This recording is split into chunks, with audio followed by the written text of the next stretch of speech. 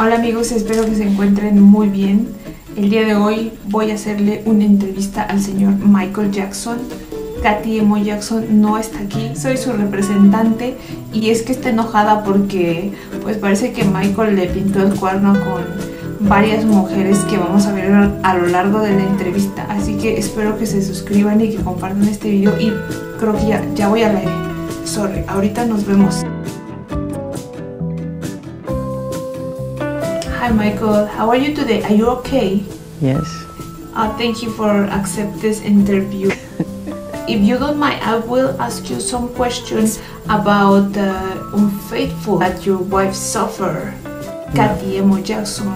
Mm, I'm not nervous at all, actually. Michael, there is a video in the internet that I can see that you kissed a girl in the mouth.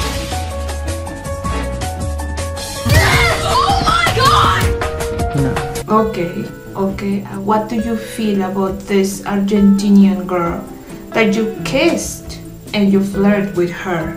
Can you explain the situation? It made me giggle because I haven't seen that footage in a long time. And it bring back memories, yes. So you didn't feel anything for her. No, not really. Not, She was just a fan and you didn't feel anything for her. that is so stupid.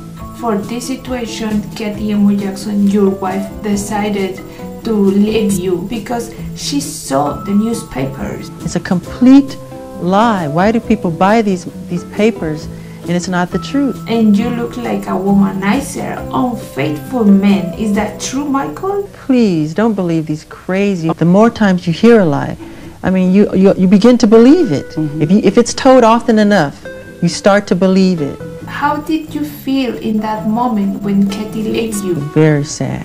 To always cry from loneliness. Okay, Michael, I believe you. And tell me now, what about the relationship, you and Brooke Shield? Do you feel something for her? Well, Brooke, I've always liked her. Oh no, oh, poor oh my friend Kathy. I'm sorry. Please don't be mad at me. But now, in this moment, I'm a gentleman. do you still love Brooke Shield? No. I am married. Okay, I see. What about the other rumors? They say that you married with Liz Taylor. Is that true? Ah, that is so stupid. That's the most ridiculous, horrifying story I've ever heard. It's crazy.